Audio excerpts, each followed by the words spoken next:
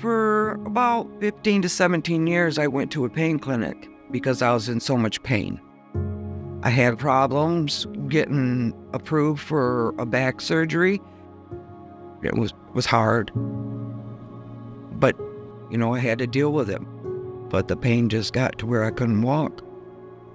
And my husband says, We got to do something.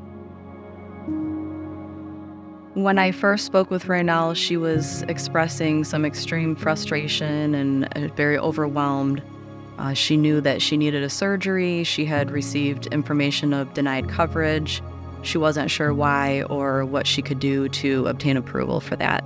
We identified that it was due to a history of tobacco use, and she really wasn't sure how to fix that.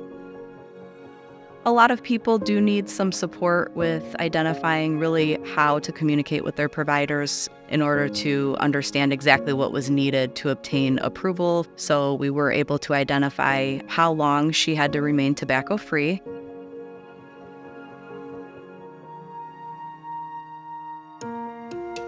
Shared services is an opportunity for us to really bring together the teams with the expertise and the best of what we can do centrally to leverage our size and scale of Centene to benefit an individual member. From the time that I seen the doctor after the MRI, it was probably exactly a week when Stephanie called and said, Your surgery's approved.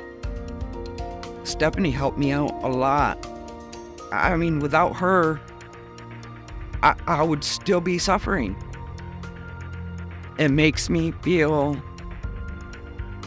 happy that I finally found somebody that would care enough to help me.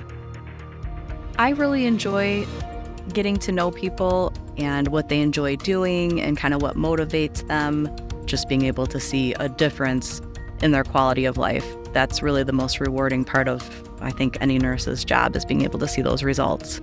It's taken off a lot of weight off my shoulders. And my experience now is it's great. WellCare helps. They've helped me make sure that I have a better health outcome in my life, and they want to help people.